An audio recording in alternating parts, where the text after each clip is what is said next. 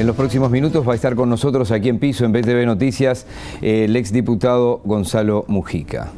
Gracias por acompañarnos. Gracias a ustedes por la invitación, es un gusto. Como quien no quiere la cosa, ya pasaron seis meses, seis meses de, aquella renuncia en el Parlamento en la que usted más o menos decía algo, en una parte decía lo siguiente. Me voy a la misma calle donde me encontré con la izquierda hace 50 años antes que se enamorara del gobierno a cualquier costa, antes que se enamorara de los fueros a cualquier precio y de las bancas a como dé lugar. El sueldo, los fueros, la banca no valían cualquier, cualquier cosa y no eran para esto. Aquí se los dejo, presidente. No fue por esto que luchamos. De estos seis meses, de la llegada a este acuerdo con la calle Pau y el sector Todos, 24 horas. Eh, hoy es un día que no ha parado. ¿Cómo, cómo lo está digiriendo? Eh, deseando llegar a casa para acostarme a dormir.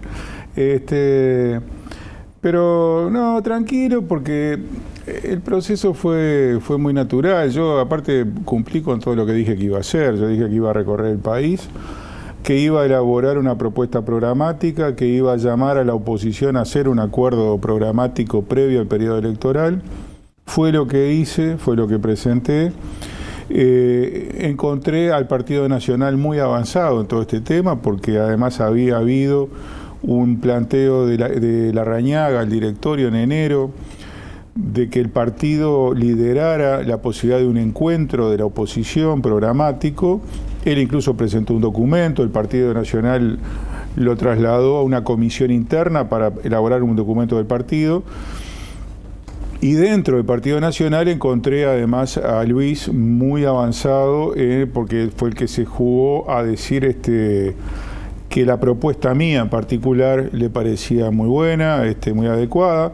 Después de ello, que fue el pronunciamiento público que hubo al respecto, eh, nos pusimos en contacto con los técnicos de él, afinamos la propuesta y una vez que estuvo el acuerdo programático listo entre nosotros, eh, habían condiciones como para hacer un acuerdo político, que es lo que yo siempre había dicho además. Ya vamos a ir a, lo medular de ese acuerdo político. Usted viene de un sector donde están los principales dirigentes históricos del Movimiento de Liberación Nacional Tupamaros. ¿Cómo se hace para saltar hacia la calle Pou? ¿Es, eh, que han arriado tantas banderas en el Frente Amplio? Este, eh, yo diría... Yo, creo que el, frente se movió hacia la derecha, obviamente, desde el 71 para acá. Digo, creo que todo el país lo ve. Eh, yo creo que está bien, porque me parece que es bueno que una fuerza política, así como las personas, evolucionemos, que veamos la realidad, que la analicemos. Este, yo no creo que el primer programa del frente este, sea una solución a los problemas que tiene ahora el Uruguay. Por lo tanto, es bueno que el Frente evolucione. El problema que tiene el Frente en este momento es que su programa actual no tiene buenas soluciones a los principales problemas del Uruguay. Y ahí vamos, ¿cuáles son los principales problemas del Uruguay? Bueno, básicamente yo marco cinco áreas que me parecen que son esenciales. Este, la inserción internacional.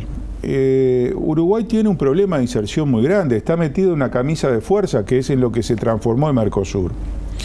Eh, si no somos capaces de, lograr que el Mercosur se transforme en una zona de libre comercio y de recuperar la autonomía para buscar acuerdos bilaterales con los mercados que más nos conviene, tenemos un problema de inserción muy fuerte. Eso afecta a toda la cadena nuestra, a toda la cadena interna además.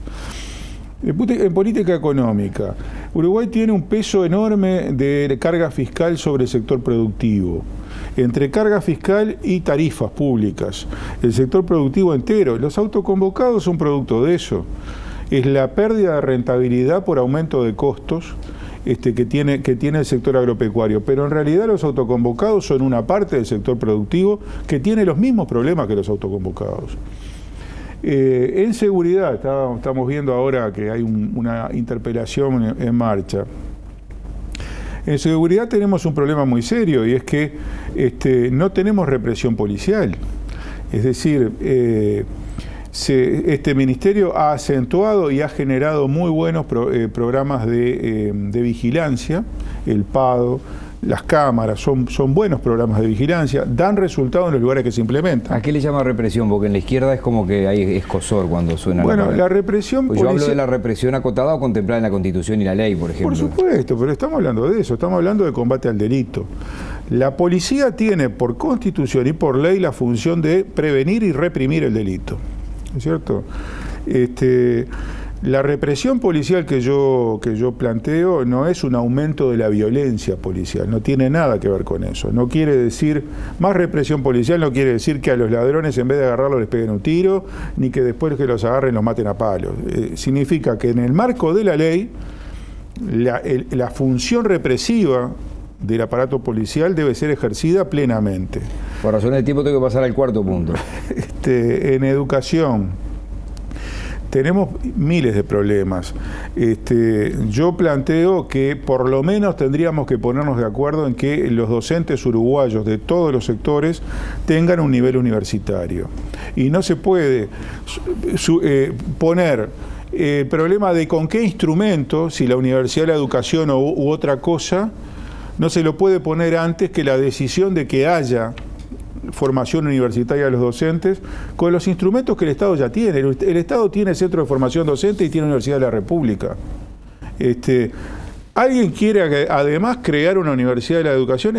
Estudiémoslo, discutámoslo, pero no podemos supeditar que haya formación docente universitaria hasta que discutamos si queremos o no queremos una universidad de la educación. Quinto punto.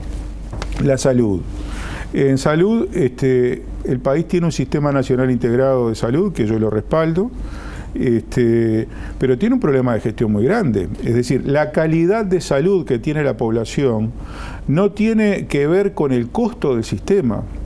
El FONASA se ha transformado casi que en el segundo rubro de gasto del Estado, después del BPS no tenemos una, atención de salud adecuada a los costos que tiene. Lo que la sociedad gasta en salud no se corresponde con lo que recibe de servicio. en el medio hay un problema de gestión. ¿Estos cinco puntos no eran diagnósticos y reivindicaciones de la izquierda? ¿Qué pasó? Y lo que pasa es que la izquierda no puede discutir nada porque si discutimos mucho capaz que perdemos. Es, la misma lógica que tuvieron con, con, el, con el planteo de las investigadoras. A mí no me decían que, que, no había que investigar porque no había nada que investigar. Me decían, y si llega a ser cierto, capaz que perdemos.